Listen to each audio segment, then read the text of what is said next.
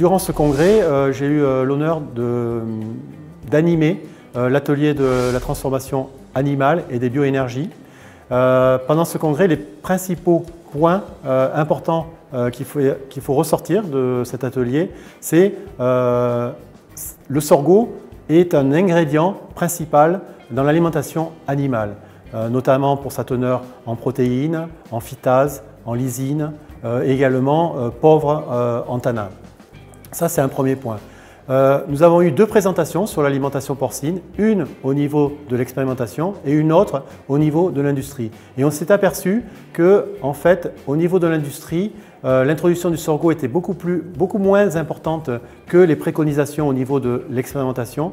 Et nous pensons qu'il euh, manque un lien entre l'expérimentation et l'industrie, notamment sur la mise à jour euh, des données euh, nous avons aussi eu une présentation d'une entreprise russe qui produit 79 000 œufs par an, qui, elle, nous a expliqué qu'elle introduisait 7% de sorgho dans les rations.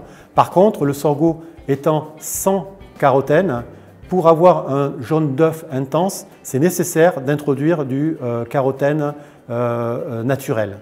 L'autre point important, ça a été des présentations sur les bioénergies, notamment Total Energy, qui courageusement bascule aujourd'hui vers les bioénergies pour diminuer son empreinte, cardiaque, son empreinte carbone. Pardon.